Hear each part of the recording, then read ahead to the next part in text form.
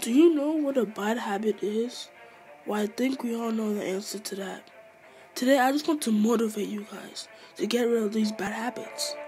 Well, you already know they're bad, but why do we still keep doing them? About 70% of humans have bad habits, so how do we stop them? If you keep your bad habits and never find a way to stop them, you'll never succeed in life. For example, your mom says stop lying because you lie all the time, but you never stop and that could affect you, your life, and your success. In order to stop doing bad habits, you have to train yourself to be disciplined and determined. Even though, if you know what's right in your life, those bad habits will be lifted off your shoulder. But if you don't, the weight will be on your shoulder for a long time. Bad habits are strange, weird, awful, beastly, disgusting, dreadful, detestable, wrong, uh, inferior, garbage, trash. There's nothing you don't need bad habits in your life.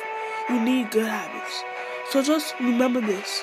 Remove all those bad habits in your life and use discipline and determination to get them out of your life. Just believe in that. Believe in that.